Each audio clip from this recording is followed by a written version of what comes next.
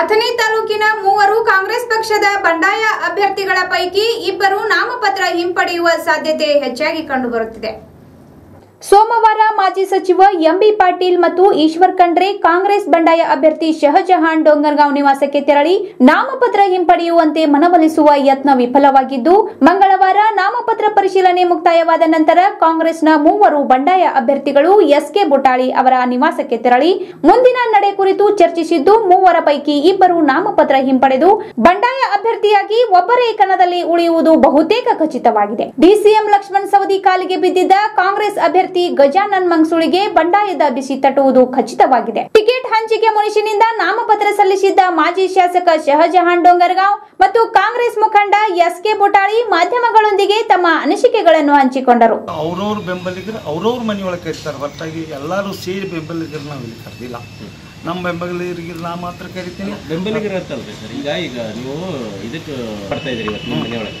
ಏನು ಸಭೆ ಆಯ್ತು? ಏನು ಚರ್ಚೆ ಆಯ್ತು ಮೂರು ಜನರ ಒಳಗೆ ನಾವು ಮೂರು ಮಂದಿ ನಿಲ್ಲಬೇಕು ಅಥವಾ ಮೂರು ಮಂದಿ ಸೇರಿ ಕಿಸಿದ ಒಬ್ಬರು ನಿಲ್ಲಬೇಕು ಇದನ್ನು ಮಾತ್ರ ವಿಚಾರ ನಾವು ಮಾಡಿದ್ದೀವಿ ಮಾಡ್ತಾ ಇದ್ದೀವಿ. ಅದಕ್ಕಾಗಿ ಈಗ ನಿಮಗೆ ಹೇಳಿದಂಗೆ ಅವರು ನಾ ಸಾಹೇಬ್ರ ಮನೆಗೆ ಹೆಂಗೆ ಬಂದಿದ್ರು ನಮ್ಮ ಮನೆಗೆ ಬಂದಿದ್ರು ಆರು ಗಂಟೆಗೆ ಸಂಜೆ ಬಂದಾಗ ಹೇಳಿದರು ಅದು ಇದು ಶಾಸ್ತ್ರ ಅಂತೂ ನಾವು ಕಲ್ತಿದ್ದೀವಿ ಅವ್ರು ಭಾಳ ಕಲ್ತಿರ್ಬೇಕು ನಾವು ಸ್ವಲ್ಪ ಕಲ್ತಿದ್ದೀವಿ.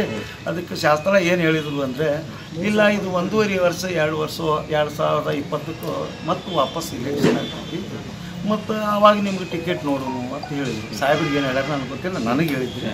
ನನಗೆ ಹೇಳಿದ್ದು ಮುಂದಿನ ಟಿಕೆಟ್ ನನಗೆ ಕೊಡ್ತಾನೆ ಅಂತ ಅಂದಂಗೆ ಅವ್ರು ಮಾತಾಡಿದರು. ಮಾತಾಡಿದಾಗ ನಾ ಏನನ್ನಿ ನಿಮ್ಮ ಮನೆಗೆ ನಾ ಬಿ ಫಾರ್ಮ್ ಕೇಳಕ್ಕೆ ಬರೋದೇ ಇಲ್ಲ. ನೀವು ಯಾರಿಗೆ ಕೊಡೋರು? ನಾ ಬರೋದೇ ಇಲ್ಲ ನಿಮ್ಮ ಮನೆಗೆ ಬರೋದಿಲ್ಲ. ಕೊಡೋರು ಯಾರಿಗೆ? ಅದಕ್ಕಾಗಿ ನಾನು ನಿಮ್ಮ ಬಿ ಫಾರ್ಮ್ ಕೇಳೋದಿಲ್ಲ ನಿಮ್ಗೆ ಇನ್ನೊಂದು ಸಲ ನಾನು ಟಿಕೆಟು ಕೇಳೋದಿಲ್ಲ. ನಾನು ಬೇರೆ ವಿಷಯ ಯಾರು ಇದ್ದರೆ ಎಂ ಬಿ ಪಾಟೀಲ್ ಮನೆಗೆ ಮಾತ್ರ ಬರ್ಬೋದು. ಆದರೆ ಬಿ ಫಾರ್ಮ್ ಹೇಳಿದ್ರು ನನಗೆ ಅವಶ್ಯಕತೆನೂ ಇಲ್ಲ. ಕಾಂಗ್ರೆಸ್ ಕೇಳೋದಿಲ್ಲ. ನೆಕ್ಸ್ಟ್ ಟೈಮ್ ಅದು ಯಾವುದೇ ಆರು ತಿಂಗಳು ಬರಲಿ ವರ್ಷ ಬರಲಿ ನಾನು ಕೇಳೋದಿಲ್ಲ. ಹೋದವ್ರು ಕೇಳ್ತಾರೆ ಬರ್ತಾರೆ ನನಗೆ ಅವಶ್ಯಕತೆ ಇಲ್ಲ. ನಾನು ಕೇಳೋದಿಲ್ಲ. ಇಷ್ಟು ಮಾತ್ರ ನಾನು ಹೇಳಿದ್ದೀನಿ. ಹೇಳಿದ್ದು ಬಿಟ್ಟರೆ ಮುಂದೆ ಅವರು ಹಂಗೋ ಹಿಂಗೆ ಎಲ್ಲ ಹೇಳಿದರು. ಮನೆಗೆ ಬಂದಾಗ ನಾ ಯಾರಿಗೆ ಯಾಕಂದ್ರೆ ಸರಿಯಾಗಿ ಏನಾದರೂ ಮಾತಾಡಬಾರ್ದು ಅನ್ನೋ ಉದ್ದೇಶ ಇಟ್ಕೊಂಡು ನಾ ಏನು ಮನೆಗೆ ಬಂದವರಿಗೆ ಗೌರವ ಗೌರವ ಕೊಟ್ಟು ಇಲ್ಲ ನೀವು ತಗೋಬೇಕು ಅಂದರು ಆಯಿತು ನಾನು ವಿಚಾರ ಮಾಡ್ತೀನಿ ತಂದು ಹೇಳಿ ಇಷ್ಟು ಚಹಾ ಕುಡಿಸಿ ಅವ್ರಿಗೆ ಕಳಿಸ್ಬಿಟ್ಟೆ. ಏನು ಇಪ್ಪತ್ತೊಂದಕ್ಕೆ ಏನ್ ತಮ್ಮ ನಿರ್ಧಾರ ಏನಾದ್ರು? ಹಾ ನಿರ್ಧಾರ ಅಂತೂ ನಾನು ನಿಲ್ಲೋದು ಫಿಕ್ಸ್ ಐತೆ ಅದ್ರಾಗೇನು ಎರಡನೇ ಮಾತೇ ಇಲ್ಲ. ಹಾ ಇಲ್ಲ ಇಲ್ಲ.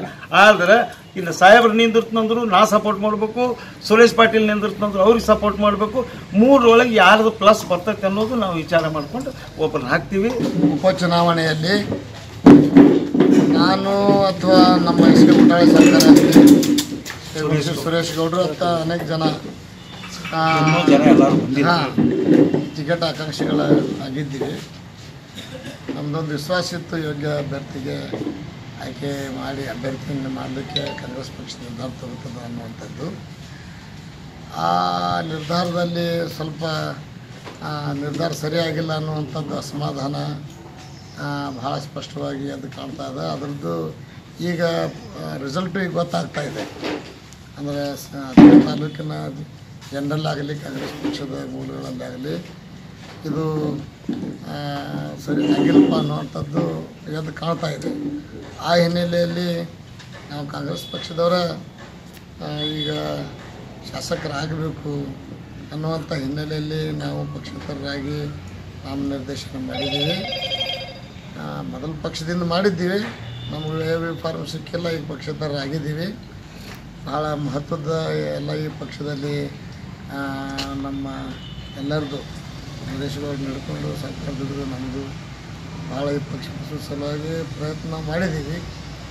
ಆ ಹಿನ್ನೆಲೆಯಲ್ಲಿ ನಾವು ಈ ಸ್ಪರ್ಧೆ ಮಾಡಿ ಯಾರಾದರೂ ಒಬ್ಬರು ನಮ್ಮಲ್ಲಿ ಒಕ್ಕಟ್ಟಾಗಿ ಶಾಸಕರಾಗೋಣ ಅನ್ನುವಂಥದ್ದು ಒಂದು ಸ್ಟ್ರಾಟಜಿ ರೂಪರೇಷೆಗಳನ್ನು ಮಾಡುವಂಥದ್ದು ವಿಚಾರದಲ್ಲಿ ಇದ್ದೀವಿ ಈಗ ಮೊದಲು ನಾವು ನಾವು ನಮ್ಮ ನಮ್ಮ ಬೆಂಬಲಿಗರ ಜೊತೆಗೆ ಸಂಪರ್ಕ ಮಾಡ್ತಾ ಇದ್ದೀವಿ ನಿನ್ನೆ ಒಂದು ರೌಂಡ್ ಮೀಟಿಂಗ್ ನಮ್ಮದು ನಮ್ಮ ಎಲ್ಲ ಹಳ್ಳಿ ಬೆಂಬಲಿಗರ ಜೊತೆಗೆ ನಂದು ಆಗ್ಯದ ನನಗೆ ಅವರೆಲ್ಲ ಗ್ರೀನ್ ಸಿಗ್ನಲ್ ಕೊಟ್ಟಿದ್ದಾರೆ. ಅದೇ ರೀತಿ ಅವರು ತಮ್ಮ ತಮ್ಮ ಬೆಂಗಲ್ ಬೆಂಬಲಿಗರ ಸಭೆಗಳನ್ನು ಮಾಡ್ತಾರೆ. ಎಲ್ಲ ಅವ್ರದ್ದು ಎಲ್ಲರದ್ದು ಬೆಂಬಲಿಗರ ಸಭೆ ಮುಗಿದ ನಂತರ ನಾವು ಎಲ್ಲರೂ ಸೇರಿ ಇದರಲ್ಲಿ ಯಾರು ಮಾಡಿದರೆ ಯೋಗ್ಯ ಆಗ್ತದೆ ಅನ್ನುವಂಥದ್ದನ್ನು ನಮ್ಮ ನಮ್ಮಲ್ಲೇ ಒಂದು ಅಂಡರ್ಸ್ಟ್ಯಾಂಡಿಂಗ್ ಮಾಡಿಕೊಂಡು ನಿರ್ಧಾರ ಮಾಡ್ತೀವಿ.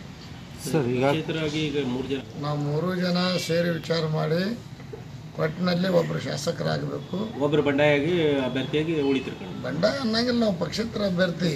ನಾವು ನಿಜವಾಗಿ ನೀವು ಇಷ್ಟು ದಿವಸ ಕಾಂಗ್ರೆಸ್ನೊಳಗೆ ಗುರುತಿಸ್ಕೊಂಡವರು ಕಾಂಗ್ರೆಸ್ನಿಂದ ನೀವು ಮಾಜಿ ಶಾಸಕರು ನೀವೇ ಈ ತರ ಬಂಡಾಯ ಅಲ್ಲ ಅಂತಂದ್ರೆ ಏನರ್ಥ? ಅಲ್ಲ ಕಾಂಗ್ರೆಸ್ ಪಕ್ಷ ಅಲ್ಲ ನಮಗೆ ಈಗ ನೀವು ಕಾಂಗ್ರೆಸ್ನಿಂದ ಟಿಕೆಟ್ ವಂಚಿತ ಆಗಿದ್ರಿಂದ ನೀವು ಇದನ್ನ ಮಾಡಿರೋದು. ಬಂಡಾಯ ಅಲ್ಲ ಅಂತಂದ್ರೆ ಹೆಂಗ್ರಿ ಸರಿ ಈಗ ಕಾಂಗ್ರೆಸ್ ಪಕ್ಷ ನಮಗೆ ಗುರುತಿಸ್ತಿರ್ಲಿಲ್ಲಲ್ಲ. ಹೀಗಾಗಿ ನಾವೇನು ನಾವು ಏನು ಅನ್ಬೇಕು ಈಗ?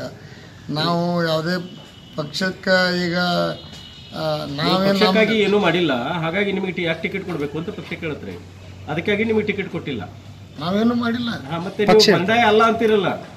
ಪಕ್ಷಕ್ಕಾಗಿ ನಾವು ಪಕ್ಷ ಏನ್ ಮಾಡ್ರಿ ನೀವು ಪಕ್ಷಕ್ಕಾಗಿ ಅಂತ ಪಕ್ಷ ಕೇಳ್ತಾ ಉಳಿಸಿದವ್ರ ನಾವು. ಹಾ. ಪಕ್ಷವನ್ನು ಬಲಪಡಿಸಿದವ್ರು ನಾವು. ಪಕ್ಷಕ್ಕೆ ಶಕ್ತಿ ಕೊಟ್ಟವ್ರು ನಾವು. ಪಕ್ಷದ ಅನೇಕ ಯೋಜನೆಗಳನ್ನು ನಾವು ತಂದು ಈ ತಾಲೂಕಿಗೆ ಮುಟ್ಟಿಸಿದವ್ರು ನಾವು. ಮತ್ತು ನಮಗೆ ಇವತ್ತು ಪಕ್ಷ ಗುರುತಿಸೋದಿಲ್ಲ ಅಂದ್ರೆ ನಾವು ಅಲ್ಲ ನಿಮಗೆ ಟಿಕೆಟ್ ಬಿ ಫಾರ್ಮ್ ಕೊಡ್ಲಿಲ್ಲ ಅಂದ್ರೆ ನಿಮಗೆ ಗುರುತಿಸೇ ಇಲ್ಲ ಅಂದಂಗೆ. ಹಾಂ ಗುರುತಿಸೇ ಇಲ್ಲ. ನಮ್ಮ ನಮ್ಮ ಮನಸ್ಸಿಗೆ ಇನ್ನೂ ನಮಗೆ ಅಷ್ಟ ಆಗಿಲ್ಲ. ನಮ್ಮದೇನು ವೈಯಕ್ತಿಕ ಇಲ್ಲ ಬಿಡಿ. ನಾನಂತೂ ಆಗಿದ್ದೀನಿ ಶಾಸಕನಾಗಿ. ನಮ್ಮದೇನು ಯಾವ ನಿಟ್ಟಿನಲ್ಲಿ ನಾವು ಎಲ್ಲಿ ಮುಟ್ಟೋದಿತ್ತು ಮುಟ್ಟಿ ಕೆಲಸ ಮಾಡಿದ್ವಿ. ಭಾಳ ಆಸೆ ಇಲ್ಲ. ಜನರ ಆಗ್ರಹದ ಮೇಲೆ ನಾವು ಬೇಡಿದ್ದೀವಿ. ಬೇಡಿದ್ದೀವಿ. ಬಟ್ ನಮಗೆ ಭಾಳ ಈಗ ಅಪಮಾನವೂ ಆಗ್ಯದ ಅನ್ಯಾಯನೂ ಆಗ್ಯದ ನೋವು ಆಗ್ಯದ ನನಗೂ ಆಗ್ಯದ ಅವ್ರಿಗೆ ಆಗ್ಯದ. ಅವ್ರೇನು ಬ ಅವ್ರು ತಮ್ಮದು ಹೇಳ್ತಾರೆ ಆದ್ರೆ ನಮಗೂ ಹಿಂಗೆ ಆಗ್ಯದ. ಅವರು ಒಬ್ಬ ದೊಡ್ಡ ಉದ್ಯಮದಾರದಾರ ಅವ್ರಿಗೆ ಏನಾರ ಆಸಕ್ತಿ ತೋರಿಸಿ ಕರೆಯೋದು. ನಿನ್ನೆ ನಿಮ್ಮ ಮನೆಯೊಳಗೆ ಕಾಂಗ್ರೆಸ್ ನಾಯಕರದ್ದು ಮೀಟಿಂಗ್ ಉಳಿದವರೆಲ್ಲ ಸೇರಿ. ಅಲ್ಲ ಜೋರು ಅಂದರೆ ಭಾಳಷ್ಟು ರಾಜಕೀಯ ವಿಷಯಗಳ ಬಗ್ಗೆ ಏನು ತಪ್ಪುಗಳು ಒಪ್ಪುಗಳು ಆಗಿದ್ದಾವೆ ಅದರ ಬಗ್ಗೆ ಗಂಭೀರವಾಗಿ ಚರ್ಚೆ ಆಯಿತು. ಭಾಳಷ್ಟು ನಮ್ಮ ಕಾರ್ಯಕ್ರಮ ಏನಾಗಿಲ್ಲ ಉಗ್ರವಾಗಿ ಆಗೈತಿ ನಿಮ್ಮ ಮೇಲೆ ಬಹಳ ಜೋರ್ ಮಾಡಿದ್ರು ಉಗ್ರವಾಗಿ ಆಗಿ ಆ- ಚರ್ಚೆ ಆಯ್ತು ಉಗ್ರವಾಗಿ ಆಯ್ತು. ಹ್ಮ್. ಆಯ್ತಲ್ಲ. ಎಂ ಬಿ ಪಾಟೀಲ್ ಏನು ಬಹಳ ಮಾತಾಡಿದ್ರು ತಮಗೆ. ಅವ್ರು ಮಾತಾಡಿದ್ರು ನಮ್ಮ ಕಾರ್ಯಕರ್ತರು ಮಾತಾಡಿದ್ರು. ಅದು ಏನು ಮತ್ತೆ ಇಂಥ ವಿಷಯ ನ್ಯಾಚುರಲ್ ಆಗಿ ಇಂಥವೆಲ್ಲ ಇಂಥ ಸಂದರ್ಭದಲ್ಲಿ ನಡೀತಿರ್ತಾವ. ಅವರು ಮಾತಾಡ್ಯಾರ ಅವ್ರ ನಮ್ಮವರು ಮಾತಾಡ್ಯಾರ. ಒತ್ತಡಕ್ಕೆ ಅವ್ರ ಒತ್ತಡಕ್ಕೆ ನೀವು ಮನದ ಹಿಂತ ತಗೋತೀರಿ? ಏನಿಲ್ಲ ಅವ್ರ ಒತ್ತಡಕ್ಕೆ ಮಾಡೋ ಪ್ರಶ್ನೆನೇ ಇಲ್ಲ. ಏನ್ ಹೇಳಿದ್ರಿ? ನಿರ್ಧಾರ ಏನ್ ಹೇಳಿದ್ರಿ ನಿನ್ನೆ? ನಾವೇನು ಅವ್ರಿಗೆ ನಿರ್ಧಾರ ಹೇಳಿಲ್ಲ, ವಿಚಾರ ಮಾಡ್ತೀವಿ, ನಮ್ಮ ಬೆಂಬಲಿಗರದ್ದು ನಾವು ಸಭೆ ತಗೋತೀವಿ. ನಮ್ಮ ಬೆಂಬಲಿಗರು ಕಾಂಗ್ರೆಸ್ ಕಾರ್ಯಕರ್ತರ ಅದಾರ ಬೇರೆ ಪ ಯಾವುದಿಲ್ಲ. ಮತ್ತು ನಮ್ಮ ಮೇಲೆ ಅಭಿಮಾನ ಇದ್ದವರು, ಜನಸಾಮಾನ್ಯರು, ಅನೇಕ ಮಂದಿ ರೈತರು ಅದಾರ. ಅವ್ರು ಭಾಳಷ್ಟು ಜನ ಆಗ್ರಹ ಮಾಡಿದ್ದಕ್ಕೆ ನಾವು ಟಿಕೆಟ್ ಬೇಡಿದೆವು. ಇಲ್ಲ, ನಾವು ಟಿಕೆಟೇ ಬೇಡ್ತಿದ್ದಿದ್ದಲ್ಲ. ನಮ್ಮ ಸಲುವಾಗಿ ನಾವು ಟಿಕೆಟ್ ಬೇಡೇ ಇಲ್ಲ. ನಂದಂತೂ ವೈಯಕ್ತಿಕವಾಗಿ ಸ್ಪಷ್ಟವಾಗಿ ಹೇಳ್ತೇನೆ. ಜನರು ನಿಮ್ಮಂಥವ್ರು ಶಾಸಕರು ಬೇಕು ಅಂತೇಳಿ ಅಂದದಕ್ಕೆ ನಾವು ಬೇಡಿದ್ದೀವಿ ಮತ್ತು ಅವ್ರ ಜನರ ಆಗ್ರಹದ ಮೇಲೆ ಪಕ್ಷ ಬೇಡಿದ್ದೀವಿ ನಿಮಗೆ ಕೊಟ್ಟಿಲ್ಲ ನೀವು ಕಾಂಗ್ರೆಸ್ ಬಂಡಾಯ ಅಭ್ಯರ್ಥಿಯಾಗಿ ಅಲ್ಲ ನಮಗೆ ಜನ ಅದು ಕೊಡಲಿ ಬಿಡಲಿ ನೀವು ನಿಲ್ಲಬೇಕು ಅಂತೇಳಿ ಅನ್ನುವಂಥದ್ದು ನಿರ್ಧಾರ. ಆದ್ರೆ ನಾವು ನಿಲ್